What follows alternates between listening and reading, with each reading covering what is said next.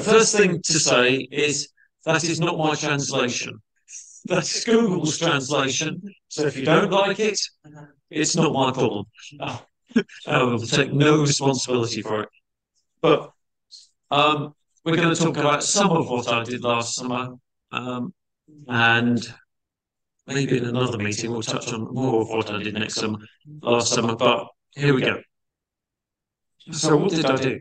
Um, I was asked to be involved with a dig up at Brandiers Farm, just outside Minety. Um, it's a community dig being run by Cotswold Archaeology. Um, it was on last year, and I did three days last year, and I did my job a bit too well. And Peter in charge said, Can you come back and do all three weeks this year? So, although normally it wasn't all summer, by the end of it, it did feel a bit like all summer. Because five days a week so, uh, is a pretty solid week when you're doing this game. Um, so, up at Minety, so nice and easy to get to, which is lovely. I've circled where we are, so Minety's top left, all bottom, bottom right, so you just make two routes. You can either go up the 419 and then come off at Cotswold Water Park, or you go out to Wootton Bassett and just head north, um, depending on the traffic. Google's very handy for that. When it tries to direct you that way, away from a direction, believe it. I got caught up once or twice. So, why Minety? Um, Minety turns out to, well, it's on clay. That's the first thing. And you can tell very wet clay because it's near the water park. Obviously, wasn't there when the Romans were, but very wet level.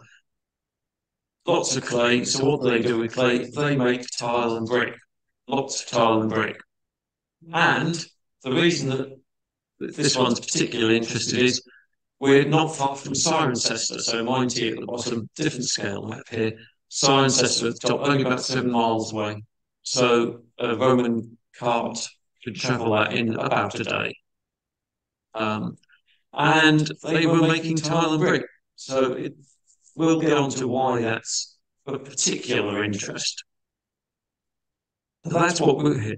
Um, obviously, being clay, it rained a bit this summer, didn't it? There were a few days that it was entertainingly slippy between the fine descent and the trench.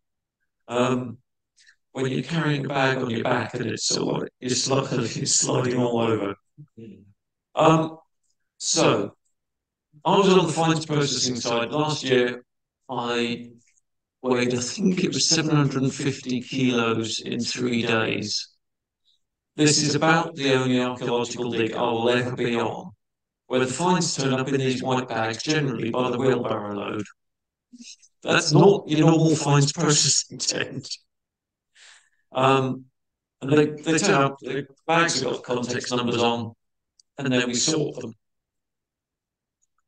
Sorting them, in a wet summer, they're coming in like this, covered in clay, because it's clay soil. Wet clay, sticky clay, lovely. Mm. So you can see there, we've got a, a bucket of water. That must have been the start of the day because it's a clean bucket and clean water and it doesn't stay like that. So we're sorting through it and we're sorting it into, and we're going to put the speaker down, um, mic down. We have tegulae. This is just a small piece of a tegula. Um, Roman roof, flat roof tile, raised edge. And then you have imbrex tiles, which used to sit covering the join. Roughly speaking, that's Roman roof there are complications to that. Um, but we're sorting it into, and we, we after last year when we didn't do it, this year we kept all the buckets in the same order so that every day I knew that it went tegulae, imbrex, which are those ones, flue tile, which are the ones, anything with combing on. So mostly these are the tiles that are set into the wall to form part of the central heating system. Then we had the brick bucket, which is anything flat and greater than 30 mil thick. So we've got things like this. This is just a part of a probably foot square tile, pedalis, to give it Latin. Um, this is just a fragment of a thicker one. You see how thick that is. Um, they get up to bipedalis. Well, the bipedalis has to be thick for this sort of, th- um, you know, to retain its strength. But weighs an absolute ton. So, so there we are. We're sorting out oh, fifth bucket, everything we can't identify. So the chips and bits and pieces that you really can't tell very much from. And you're sorting it, away. you're cleaning it and sorting it. So we're looking for anything that's interesting on the tile, and we'll come on to some of the things that we found. Cleaning it well enough to be able to tell a piece of flue tile from a, a brick, has it got the combing? And then the bucket on the end's all the rubbish we can't tell anything about. Um, so last year we were part of the process is at the end of sorting them, we weigh it all and we count it all. This is not the most interesting part of the process. Um, so weighing it's not too bad. You can put it all in a bucket. Last year we had it hanging off the roof of the tent, scale off the roof of the tent. Uh, but the buckets can get about 18 kilos if you load them well.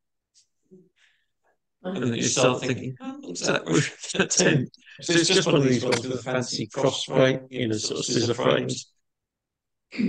Um, and then counting is a bit tedious, not too bad for, you know, the Brexton to take your eye.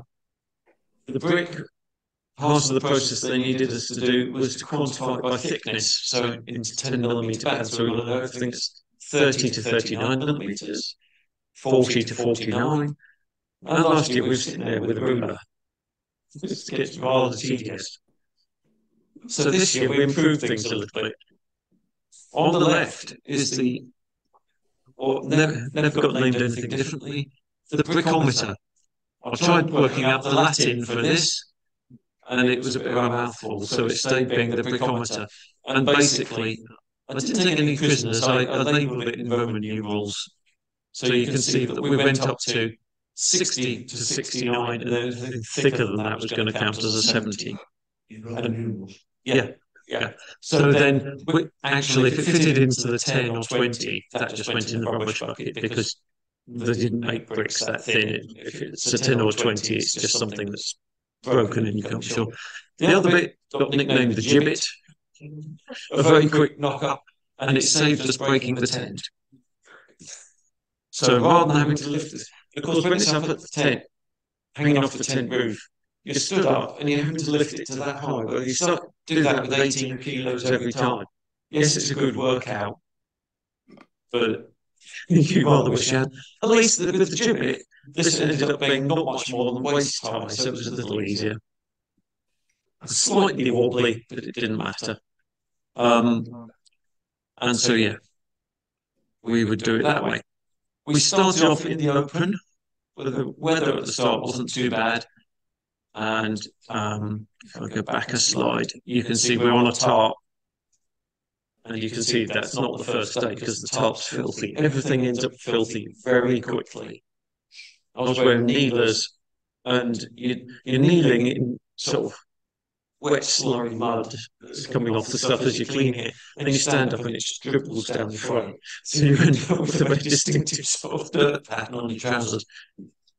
There we are. Um, so we st- we're on the top to start with. Second week, we got a second tent, so we were able, able to move everything that wasn't in the tent the first week down into the new tent, and then take over second tent and double the tarp out. We could be running two teams at a time. So we knew there were going to be a lot of fines. We were, the dig was three weeks this time compared to a week and a bit last time more people, more diggers, more fines. So we wanted to try and get into mass processing. So we had two lines of buckets and two teams and gave them nicknames. And we were on a slight ridge and furrow system. So at one point they were uphill and downhill for the people who at the top of the ridge system and the bottom. Bit of fun. And you start sort of winding them up, going, ha, you fell. What we're after. So why are we doing all this? Well, the chap in the background there is this guy, Peter Warry. Very clever guy. He used to be in industry, all sorts of really clever industry stuff. Now, this is where we get on to what's interesting about Tegula. So Tegula got the ridges. So if you've got the upper layer and the lower layer, and you try and, and you do it like that, and then nothing extra is done, and you overlap them, you've got a great big gap. That's not really great in buildings. So there's a clever system of cutaways that they developed. So the lower tile on the top top side would have this notch cut out, so it lost the bridge. And the bottom of the upper tile had cutouts here, and then they just mesh. But it turns out that over time, and we're covering a sort of four century period, this cutout system varied. Peter, for his thesis, had been around the country, and he did this after retiring from normal work, if we can put it that way. Went around the country measuring over two and a half thousand tegulae in every way, creating a typology, and then he could combining that with stamps and stamps, and we'll come on to that. He could then say, ah, well, that's a first century tile, that's a second century tile. He established a whole seriation of tegulae, which is really clever. So he did it using stamps. So not every tile is stamped, not every brick is stamped. Peter reckons about one in ten as a stamp put in it, at Minety at least. Legionary areas, they tend to stamp everything because it was a bit you know, squaddy, just go bosh, bosh, bosh, bosh, the standard process, but elsewhere they didn't. Um, so he's very interested in the stamps. So you can hopefully make out there we've got, and can I do the laser? Yes, I can do laser pointer. Good. We've got TPF there. The F's a bit truncated, but we see enough of after a short while, you know there's only a certain number of combinations. You can see another TPF there. Um, look at that top one, trying to remember what. Oh yeah, this is a really poorly done HS, and this is part of a larger one that says LHS. So that's the S there. Doesn't show wonderfully well. Down here you can see we've got another S. And the game was, as you're cleaning it, try and spot these. In the trenches, they're supposed to spot them, but everything is covered in wet clay. So we, there is no fault attached to them not finding. And on a good day, you'll find one or two sorting. On a there was an absolutely mad half hour when we found I think it was seven between four of us, and it was like, we found one, found one, found one. What's going on? But so we got TPF. Let's go on to the next one. TPF, TPFP, TPFA, TPFC. Might have been a TPFB, but we're not quite sure. So with Peter reckons TPF I can't remember the Latin, I'm afraid, stands for something like made in the public tile works. Um, and then we think that TPFP was Primus, so then it was following a series. So this is the first one after that series. So first contractor maybe. And then they went, hang on, the system isn't going to work very well. And then maybe just went ABC. Um, those stamps are really nice and clear. You can't miss those. Really obvious. Some are incredibly difficult to spot. And just occasionally I'd spot one that Peter would go, is it? Is it not? Now he traces all of these onto on you know the old overhead projector clear film. So he'll sit there with a fine pen, trace them. He knows which die they're made from. So they're made with different dies. Um, probably metal letters set into something like wood, and then you get bits falling off, so you can, and the letter forms vary. and they'll go, oh, that's die number 21J. Super, super specialist. Um, but some of them, even just looking at them, you get to know, oh, that's that one with the really weird variation there. Um, so all of the TPFs and all of their variations all went to Cirencester, found virtually nowhere else. So Public tile works made for Cirencester. Similar system existed in Gloucester, apparently, Gulvesium. Um, there, you've got the councillors' names on the tiles, which is distinctly unusual. Here, we just get it's a it's a sort of corporation tile. Um, that's our mad half hour. You can see we've got we've got an A there. That looks like a TPFP that's upside down. You can see there's part of an FP TPF there. It's difficult to show this without the examples, and unfortunately, I don't get to keep the examples. Um, now, what we then go on to is LHS. Hopefully, you can just about see Chloe, who's one of the um, professionals. So we, the dig was mainly we had a core of about seven professionals on site all the time, and then at least double that number, if not three times that number of volunteers.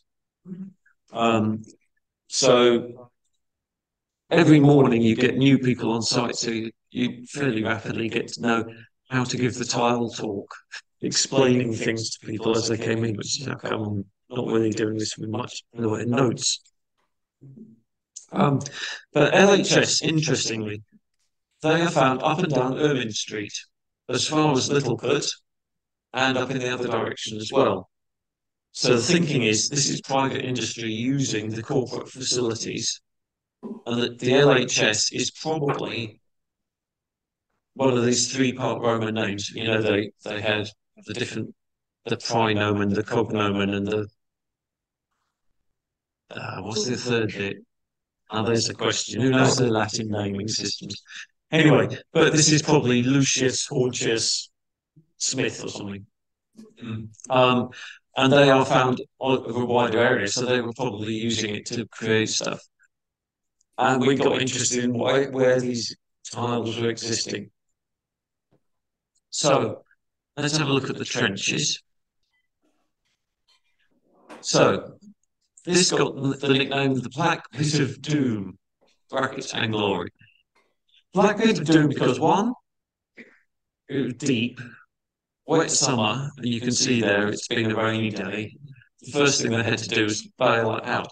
This is clay, of course, so bailing it out doesn't leave you with a wonderful surface, it leaves you with a bit of a squelchy mess. That hole was at least six foot deep. So you've got people going in. The, the trench was about a metre wide. So they've got just enough room to work. You can see it stepped down for safety we did have a slight fall fall some of the soil one day. The clay tends to stay where it's put. It's black because this is where they were chucking all their spoil tiles and their ash. Why is it a hole where they could put this? They probably emptied it of clay, taken used it as a big clay pit to take clay out, and then put. Where are we going to stick this lot? Well, there's a hole over there, stick it in the hole. So there's probably a few of these around the place. But the stuff coming out of here, because it was spoiler, yes, it's not up to sort of usable standards, but it was surprisingly good. Of course, you'll see some of the examples. But it came out, the clay had turned black because of the ash. It was very wet, very encrusted, and you had to brush it all down with nail brushes and toothbrushes just to see what you were doing. Made more fun by, depending on the colour of the tile, so that's a nice solid one. You could do what you like to that. So that's, that's indestructible. You could do what you like to that. That's indestructible. This orange, this if you orange, scrub it too hard, it just starts dissolving. Just starts dissolving.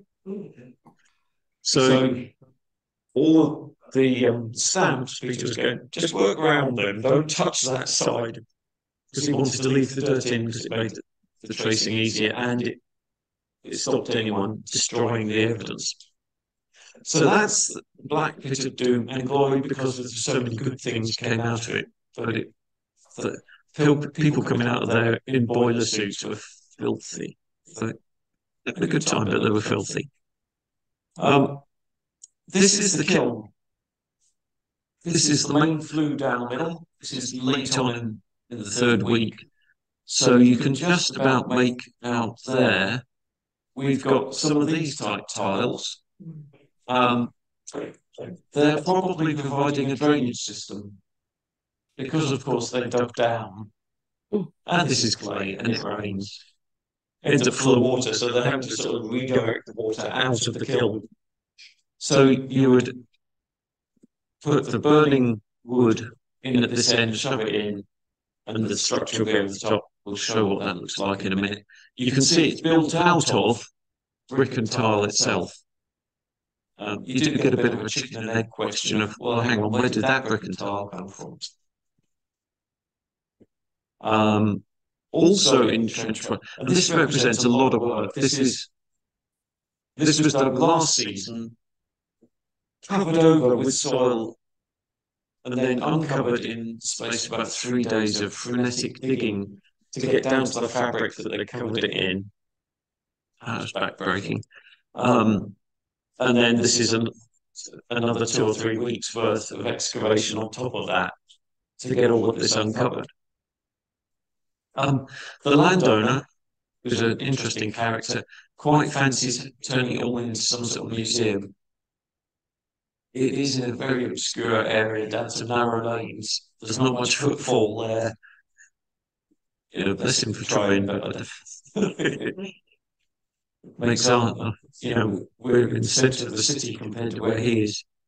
Um, so, trench one. So, we're now on my right hand, as that photo was taken, is where the, the, the um, flue was you can just about make out we've got post holes, so we can tell that we had a roof structure over the, over the kiln, which is nice. Um, and then if we go into the into it, these are the tiles that we're providing the drainage ditch at the drainage gully system, and you can see they're stamped. It was it's very rare to find stamped imbrices these ones are the sheets. Um, but they are, um, which surprised us. And each of one of these ones forming this was. So, like, okay, interesting. You can see there, this is what I say about some of the letters falling off. This is a TPFP where the bottom half of the cur curved part of the P has just vanished. Um, which makes it a fairly distinctive die that we. You know, Peter knew what that was pretty much without and, to check. So what are we digging up? So that is what's called a hollow voussoir. And everyone, some of the names are, are really fun. Everyone pronounces voussoir in a particular way when they say it on the side, voussoir. Um, so this is a specialist version of it's not really a flue tile, although it looks a bit like a flue tile. So the, those lines in it serving the same purpose. They're to hold the plasterwork onto it. But this is a hollow tile, sort of imagine a, a, a tube made of clay that's about that tall, about that wide, and about that deep.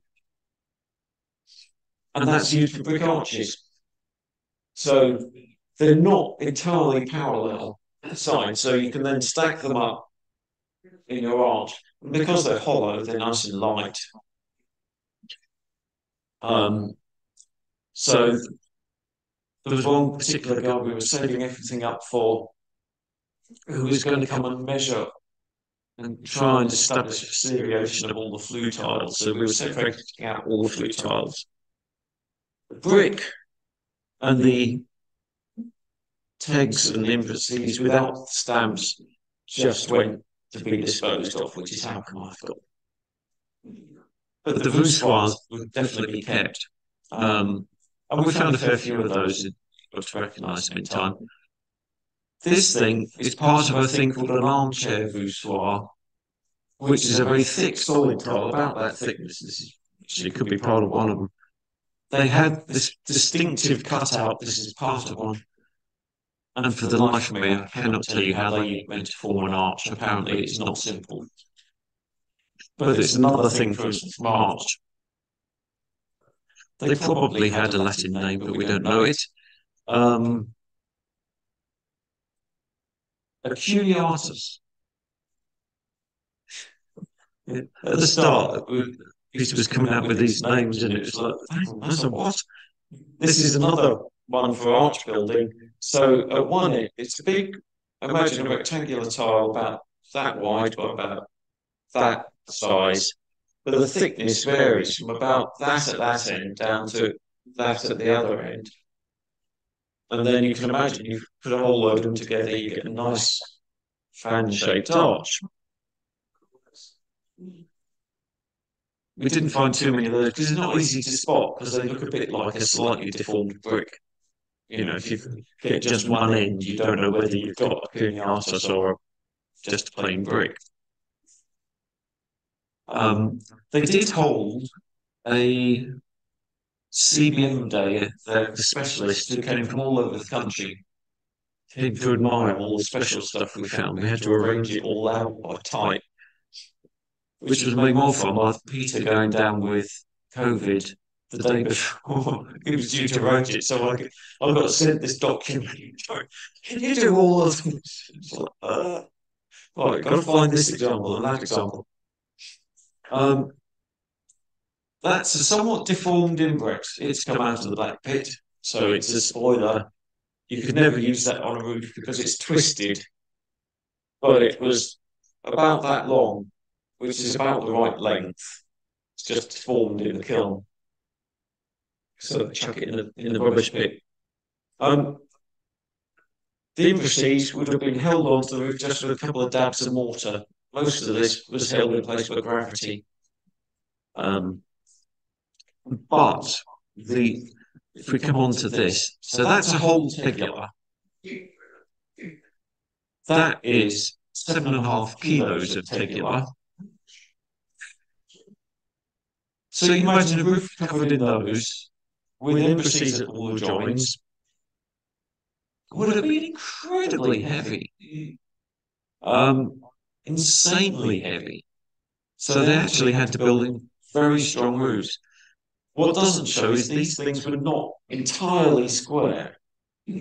So to get the best registration like that, you actually want the bottom of the of the upper tile to be narrower just by a fraction than the top of the lower tile. So their sides aren't exactly parallel with each other.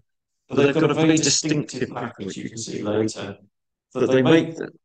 They make it and they can tell this sort of thing by looking at sides. The underside's always rough on these ones, so we think that's the bottom. So they had a mould. They do the, as you've seen the sort of modern handmade brickmakers do, get your massive lump play, go what? Draw across it with a piece of wood or something to get rid of the excess. They then put a neat groove down the side. Very distinctive you get quite used to spotting, oh, well, this is a tegular that's lost the ridge piece, or this is just a piece of ridge, or helps if you've got a brain that works in a very visual way to try and spot what, what's what when you're sorting all of this. These stand out like really well because they've just got a curve and nothing else has that curve. Um, the other thing that they do to some tegular, not all of them, is you've got this fan shape at the bottom. It's called a signature. Though there is debate as to what, what that is. It's usually two, three, two or three fingers just drawn in the clay. Maybe it's to say, you know, I'm worker number two, I'm worker number three, so that's my one. Um, we did find a few with four, and that Four's quite impressive because it requires a bit more sort of stretch to get your arm in the right place to draw it round. So somewhat weird. But yeah, we get a lot of those ones with with that.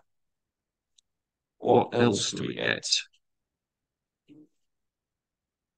That is a lydion, so that trowel is about as long as my hand. Not, yeah, a bit longer than my hand. These things weighed eight kilos. So one guy bought three of these in a barrow, and it was plenty for him to be dealing with on the skiddy stuff, and they all came out as solid. Why they were in the spoilers, we don't quite know. So these were absolutely flat, about that thick, good solid things. These would be used as a strengthening layer in the walls. So you see the sort of red bands in the walls. Um, trying to fit it into a bucket to weigh is interesting. Now, this is glorious. This came out of the Black Pit of Doom, brackets and glory. And it's a box flue tile, virtually complete. There's a bit around the far side that's missing.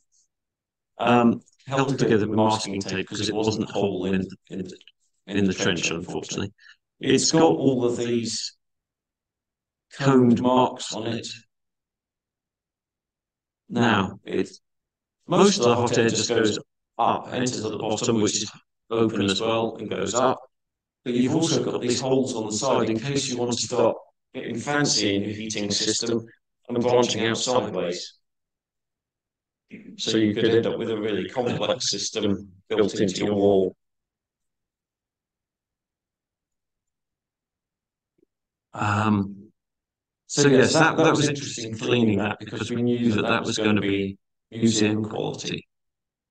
Because all it takes is a little bit of glue and then you stand it in a cabinet, nobody will know that it's not right. Um, absolutely beautiful. Everyone's very pleased with that.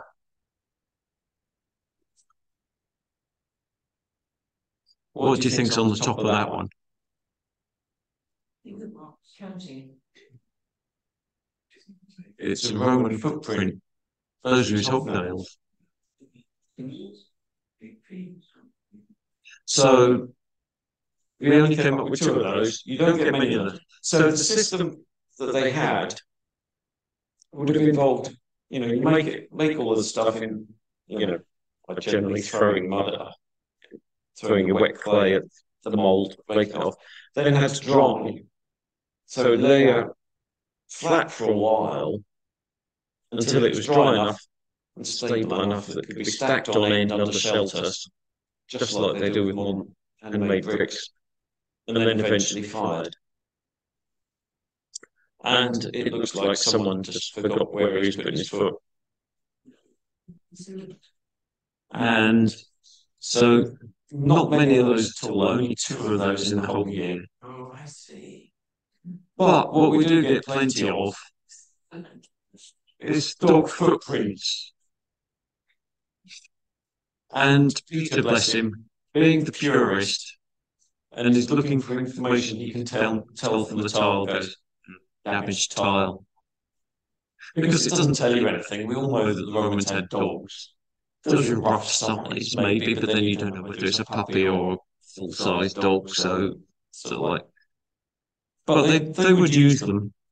Um, but we we were getting maybe a couple a day with with animal prints on, which is so, so nice. I've got a couple at home. Um,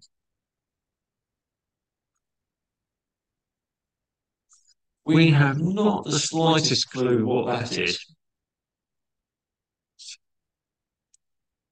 It's sort of incised lines. You can see we've left the dirt from the black pit of doom and glory in there. Just so it's easier to read the tiles, as it were. But what is it? Roman rocket ship? It just makes no sense. We we have absolutely no idea what that is. Roman military. well, yeah, it's almost like the Broad Arrow mark, isn't it? Uh, the War Department. Um, yeah, we're gonna very odd now. This is particularly nice. So you can see that everyone see it. Everyone see it. So we've got a C there that is really obvious, and two short verticals there. Peter assured me that apparently two short verticals is an E in cursive Latin. I'm taking his word for it. Yeah, I mean, so what is this? So first thought was okay, as in behold. Not very plausible. Quite fun, but not very plausible. Um, fecit. The EC in fecit is more plausible. It's not at all unknown in Roman tiles. For people, people, you know, Brunio fecit. I made this. Um, last year we had one that had M incised into it, which was probably just a count. It was the thousandth, thousandth cut tile. Um, but they get quite special, you know, finding ones like that. That that was the only lettering that was incised that we found this year. And going by the black, that came out of the black pit as well. The rest of the site didn't go black like that. It was mainly orange clay. Um, the, about the last day I was there, we got this. So you can see we've got a vertical scratch there, one scratch there, and another scratch there. So some sort of very large Latin asterisk, maybe. Very odd. Um, can't think of any good reason for that. It seems to be on a piece of brick. So, um, so this is a drone photograph. These days, drones have changed archaeology. No more balancing on the top end of a ladder with holding a camera out there trying to get a clear photo. You just throw a drone up and it just takes a beautiful shot from there. But you can see there's the central flue, there's the supporting walls. We've got the drain coming out this way, um, the edge of the wall there. So that's trench one. We did have more trenches. So this is from an even higher shot, slight angle. We've got trench one there, black pit of doom and glory there. Um, another pit, the, another trench there, which turned out to be exceedingly boring. And not much came out of that one. It's a very shallow um, pit feature filled with just throwaway bits of pot. Well, that's not pot of ceramic building material. We did get pottery. We got more pottery this year by a long way than last year, but it's still not an awful lot. It's probably just whatever they used for their lunch. There's no signs of actual occupation here. Um, there's a, a, ditch feature there that had also been filled in with um, broken tile and brick. So it, it, seems like every time they made a hole, they ended up with they ended up with spoilers, which they where's the hole? Shove keep on shoving it in holes. And they were probably forming paths out of it as well, because when this stuff gets wet, you you know, even with German, with with Roman hobnails, you're going to skid around. It just makes you appreciate chalk. Mm. You know, bit of rain, give it half a day, and you can wander around in it perfectly safely. Um, so quantities 3,500 kilograms of brick. So not this has all been counted, and some of the fragments are down to this sort of size.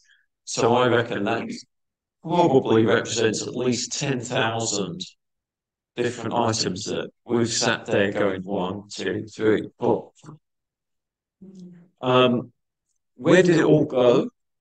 Well, I was taking some of it away, um, of which this is a sample.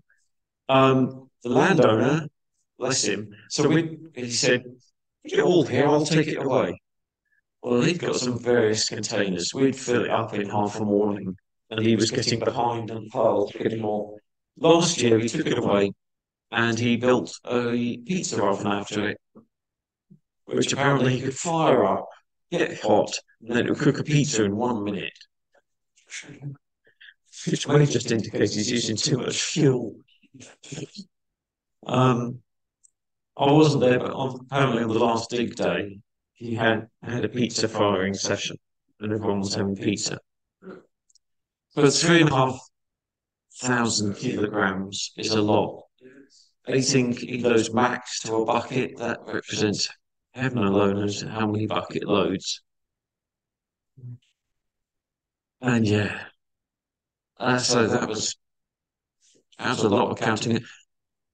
I was in charge of 3,000 kilograms of that. They managed 500 on the last three days that I missed. Um, so this is roughly speaking what it would have looked like, but this is not to scale. This is far smaller.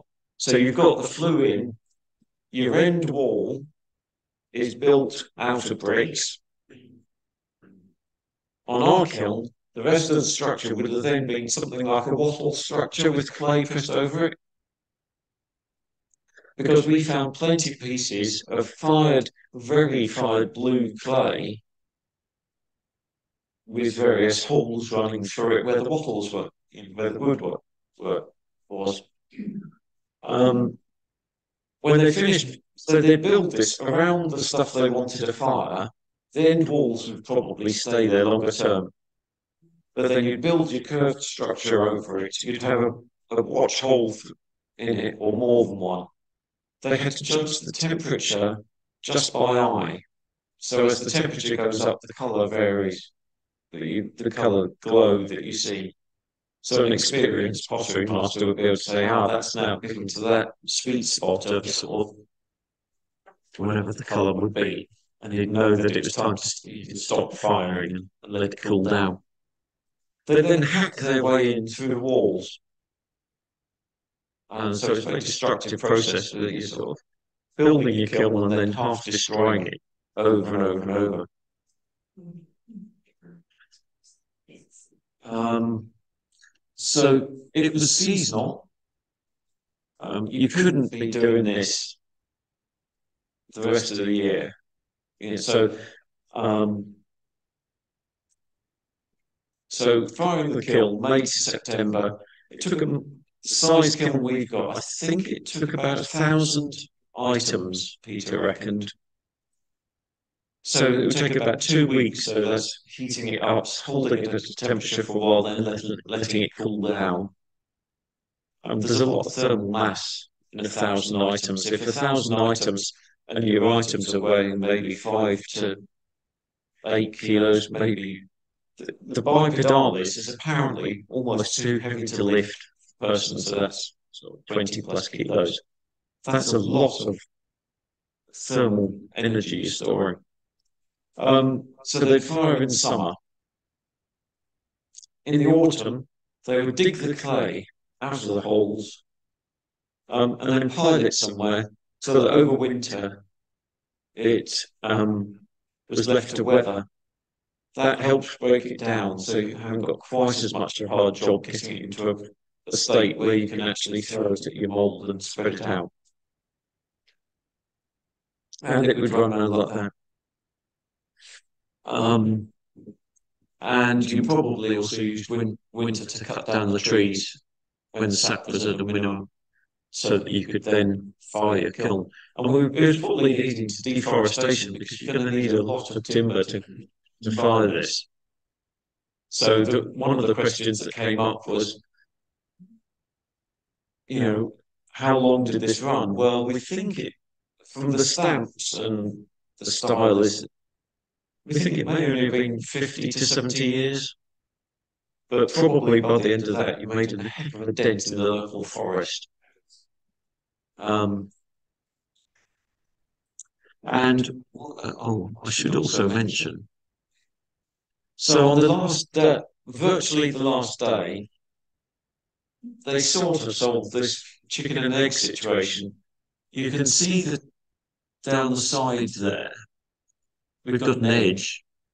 Turns out that roughly where I'm marking with the sort of pseudo laser, it was vitrified, so the clay had turned to virtually a sort of glassy like it turns into this sort of it almost looks like emerald um sort of very glossy green so if that's fired there but that's on the outside of a kiln but that means it's not the outside of a kiln that there is the flue of an earlier kiln that's then been built into the structure of the next one. So probably some of this structure was fired in this kiln. So we've now got a target for next year. And Cotswold Archaeology are actually a charity, bless them. So they do um, what all the pre pre-build archaeology like you do for developer archaeology. So that if you can move to a shopping centre, they'll come in and do the archaeology to record it all. They use some of the profits for, from that to do this community archaeology. So it's not cheap running this. You've got seven or eight staff for three weeks. You've got to buy a whole load of extra equipment because we were getting through it. Um, so they said, yes, one last hurrah was Neil Hoglook's words about it next year. So I think we've got one more season of, of digging. You still get a chicken and egg. That where did the brick for that kiln, the first kiln, come from? It's probably smaller scale ones, and then they've ramped up the scale as they went. You know, once you can, you've got a kiln that's big enough to fire once to build the structure, of the bigger one, then you're set for a while, and you can just keep on reusing it and rebuilding it. Um, the soil there, is, so the site has been, I mentioned ridge and furrow, medieval times, not much going on apart from lots of farming. And the plough, the medieval plough came, there was a low point ran through the site about there. So the next one's going to be about here. And it destroyed it and spread it everywhere. So all of the topsoil is absolutely thick with bits of tile and brick. So you have to look at everything. But the really interesting stuff in terms, in terms of trying to understand the, development of the site comes from the structure itself. So, where did it all end up? So, that's where some of it's ended up. That's the raised border in my garden. Those of you walked past our house late, you know we had builders in over the winter. They trashed the garden. We thought, right, we're going to switch to raised borders, have a low, low maintenance garden. That whole front wall is built out of Roman material that I was allowed to take away. I was using big plastic sacks, coming away with one or two per day. And I came away with a bit too much. These aren't terribly easy to use up in your wall, other than serving the original purpose of sealing the top. I've personally, I really like that you've got this bit of tile that failed in its, in its first job, and here it is. Where are we? So this site dated to around tail end of the first into the mid second century. So about what 1850 years plus the tile and brick finally gets to do what it was made for we've I've used some of the, the flat pieces in paving so we've got a crazy paving type bit where we've used some of the flat pieces so um, yeah it lives on um, and I've got a couple of nice pieces right at the foreground down here that have the animal prints in just so that you can send the grandchildren off and can you find the animal prints? Mm-hmm. Um, and it's perfectly good to build with. This stuff, the bluey, bluey stuff, which shows it's been fired more. The more it's been fired, the more blue it turns. it's indestructible. It's lovely stuff. That's a bit iffy building it in, but I did it anyway. So, are there any questions? Yes, Jan. What prompted the dig in the first place? Was it pieces coming to the surface? that the- Yeah, what prompted, so for those on Zoom, what prompted the dig in the first place? The landowner, well, Minety was known as a, uh, as a kiln area anyway. There's, not far away, there was a medieval kiln. But the landowner kept on coming up with, when he was working on his land, Roman, what he thought was Roman. And he approached Cotswold Archaeology because that's the nearest one. They're not far. Their headquarters is just the Kemble. And he approached them and said, "I think it's this." And then it took a while to for the cogs to turn and the system to work. But then they said, "Yeah, okay, maybe it is. Maybe we should do a dig." They did geophys first of all. I haven't got the geophys images, but that main kiln stands out like a beacon on the magnetometry. You know, um, it because when you fire the clay, it breaks in the magnetic field of, and it stands out like a cunt. It, it makes it it's a large beacon saying dig here. And it, it, it is the, the best hole they've got. Um, the other holes that are very thick in the stuff also show up as, as distinct blobs. So yeah. Yes bricks and tiles to send to Cirencester and Bath and Paisley. Yeah, they, they were making the bricks and tiles primarily to go to Cirencester. So, or it looks, looks like, like, most of the time the production was all this TPF stamped stuff. Not every piece was TPF stamped, but it was all going to Cirencester apart from this patch of private industry using the public tile works but then they sold up and down Ermine Street. Didn't go down to Bath, it just went up down Ermine Street because that palace is nearby. And that's probably, there's probably not an awful lot of clay around, certainly around Cirencester, because that's. No, I think I, th I, think you're right. I think this area is, is really good for clay because it's part of an old river system. I think. Uh, yeah, yeah. Cassie, in Cirencester, have they found any examples of an arch being built with these tiles? Ooh. I mean, you're thinking that one because it won't be standing today. Yeah, I think you, they probably, I don't know, but I think they probably have found the pieces of them, but I don't think there's enough.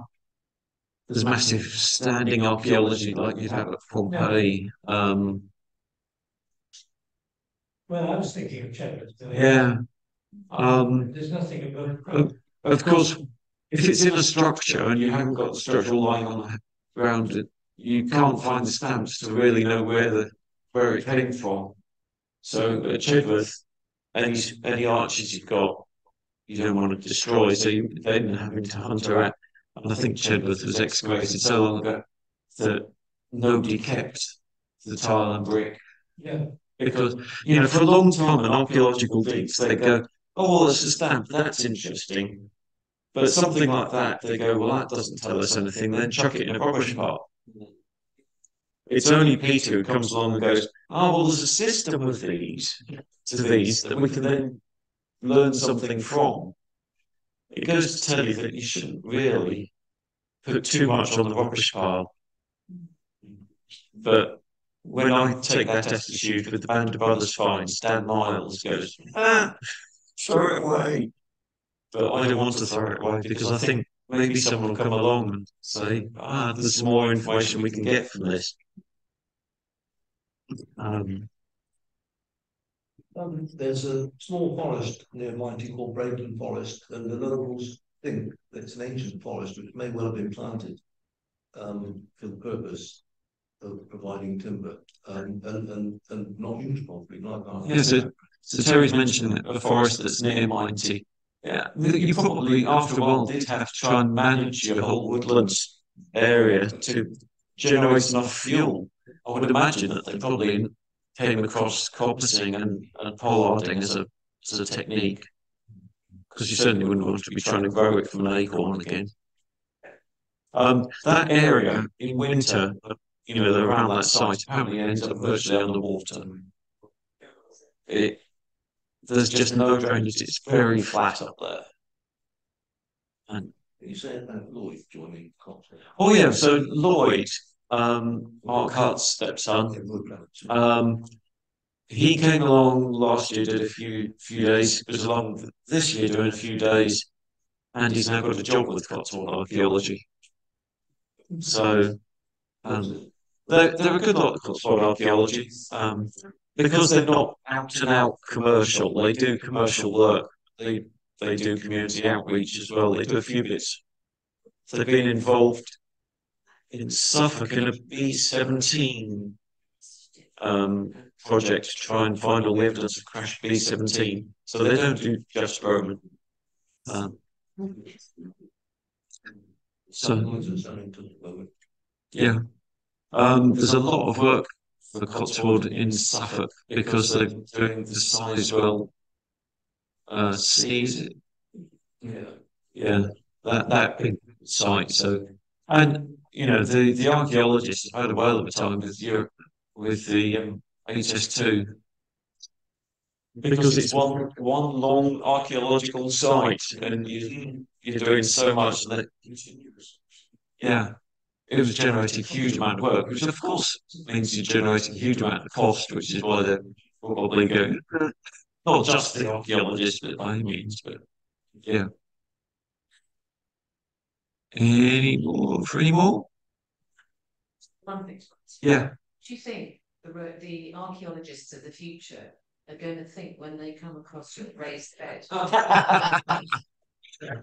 It will confuse them. Like, you know, the, to be honest, I'm not alone in doing this. Not, you know, the landowner's been building his stuff out of it. A number of archaeologists I know, you, you know, with appropriate permission, take bits away from their site. Another one of my raised borders has a brick from the Farm Lane camp built into it. yeah. Yes. Yeah. Um, but I, if if my walls last long enough for an archaeologist to find them, I've done well.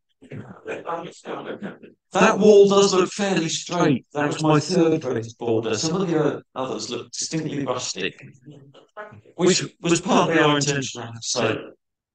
But I did I did get better. Are you going to fill that then? That yes, that has now been filled. Um, and the space to the left of it's been paved. If you come past our house, have a peek in, we've now got a bit of a plaza between the raised borders. Um, and what's in the raised borders will be covered in a future tour because I found a lot because I was sieving the soil, which has to be almost more boring than counting 3,000 kilograms of brick and tile because I wanted to get rid of all the weed roots. But when you sieve it and you do archaeology, you can't help but find stuff. But I'm not going to tell you what happened. because that's the next talk. And I'm, yeah, my God. yeah. So going. Thanks very much, Cassie, for um really interesting talk. Uh, it is it's amazing what is behind the scenes with these things. You know, you, you see the end product like that, but the tons of and everything that comes out get to these few bits, although you had more bits than you expected. Um, Makes a very big part uh, so thanks for that, Cassie, and uh, thank you very much for everybody for listening.